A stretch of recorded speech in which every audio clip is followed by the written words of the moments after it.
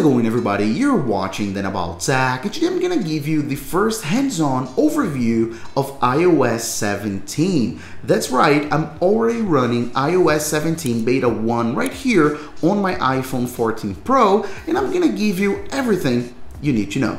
Let's get started. So the first thing I want to tell you is compatibility. Please keep in mind that iOS 17 will not be compatible with iPhone 8, 8 Plus, and 10. So only the iPhones 10R, 10s, and newer will be able to update to iOS 17. Starting with an all new feature called Standby. Take a look. So if you lock your iPhone while it's plugged in and charging of course, and you put it in landscape mode, as you can see, you're gonna wait a few seconds and you're gonna see this. This is a complete new feature and you can use your iPhone just like an Alexa, right? Or other competitors uh, that you see way often.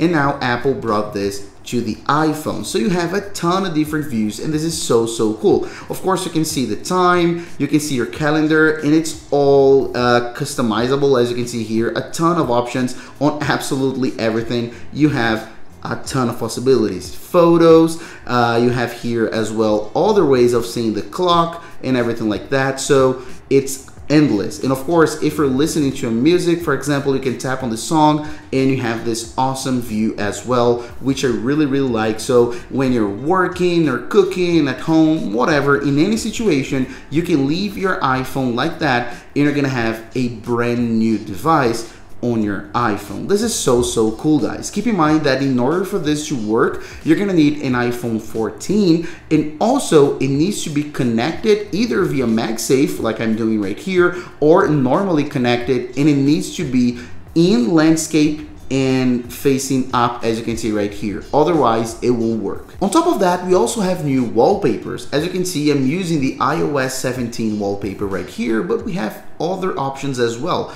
So if we go to settings and then wallpaper and then add new wallpaper as you can see we have a few options. Like for example in astronomy we have planets so different planets as you can see right there. Uh, we also have kaleidoscope as well as you can see a ton of options. And of course if we keep scrolling down we have under collections the new iOS 17 theme right here the one I'm using in this video. Another new feature that Apple showcased in WWDC is called Contact Poster. So if you go ahead and open up your contacts and you tap on your own card of your own contact, as you can see right here, you're gonna see this new interface on which you'll be able to choose how people see you when you phone them. So then you'll be able to customize right here your photo, the name it shows up, and everything like that. So this is really, really cool. I have made this little customization right here, but it's a little bit buggy still, but that's pretty much how it's gonna look. So if you tap here on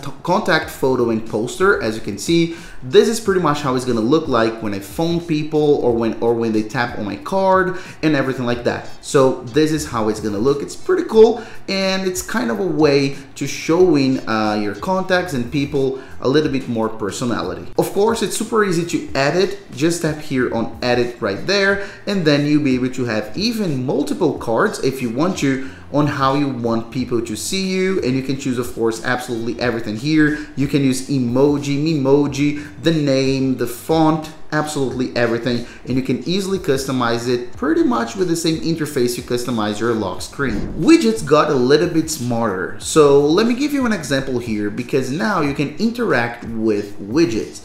Right here I have the reminders widget and now I can simply tap on a reminder and I'm interacting with it and as you can see it just marked as complete. It was 11 now it's 10 so now you can easily interact with multiple different widgets right here from the lock screen before. As you remember if I tapped here it would actually open the reminders app now it's much smarter. Apple also updated the Messages app and added a ton of new features. So if you tap on Messages, you're gonna see that the layout itself is looking a little bit cleaner and as you can see, it's a little bit different. But not only that, if you tap on the plus button, it's totally different and in my opinion it looks really really weird take a look at those buttons. It looks like it's from a mac os from like 15 years ago like os x. So it's really weird but there are some new features uh, not only visually but now we have stickers as you can see right here. Uh, so if you tap on stickers you can add a new one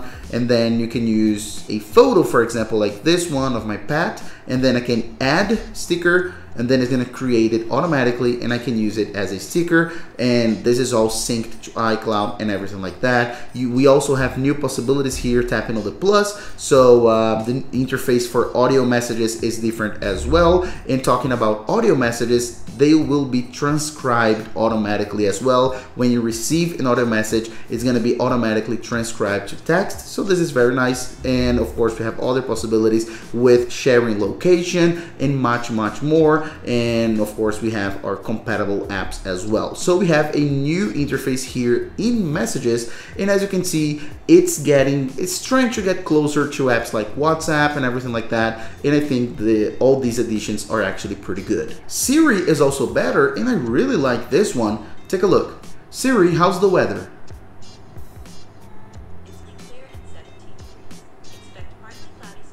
So, as you can see, I don't really have to say, hey Siri, and wait, and things like that. Of course, I can do that, but as you can see, it's much smarter.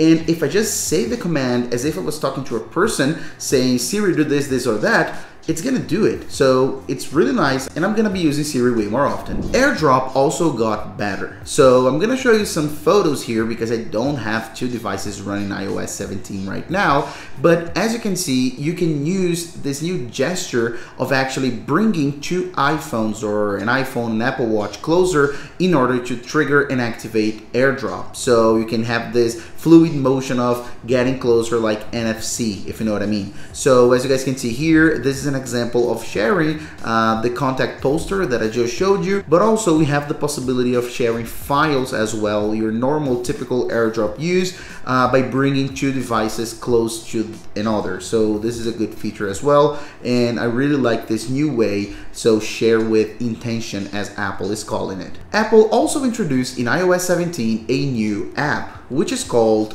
Journal. And I can't show you that either, but that's not my fault this time, is because this app is not available. It's just not here in iOS 17 yet, and Apple says it'll be available later this year. So maybe when iOS 17 is actually brought to the public, but what we know is that journal is like uh, your typical journal. So you'll be able to write your memories, save photos, videos, uh, tell how you feel, and use just like you use a physical journal. So a very nice feature, actually a very nice new app. And still talking about how you feel, Apple brought a lot of attention to mental health on this latest software update. So if you go here to settings, you'll be able to see mental well-being as a new category here on our settings and then you'll be able to set and record and type in a bunch of parameters on how you feel and of course talk about your mental well-being as a whole. Uh, this is a feature that of course uh, will require a little bit of attention and of course uh, follow up with doctors and everything like that. So of course we have here uh, anxiety risk, depression risk, state of mind, time of daylight. So a ton of possibilities here uh, that will help you control and somehow diminish the risk of mental diseases. So awesome from Apple to create features like that. Now, please keep in mind that iOS 17 has a ton more features that I'm covering here in this video, like live voicemail, a ton of features in FaceTime. We also have SharePlay, keyboard features, Safari, CarPlay, maps that go offline. There's a ton of new stuff, but the idea with this video is give you my first hands-on overview of iOS 17. So that's it. Thanks for watching this video and I'll see you on the next one as usual. Bye bye guys.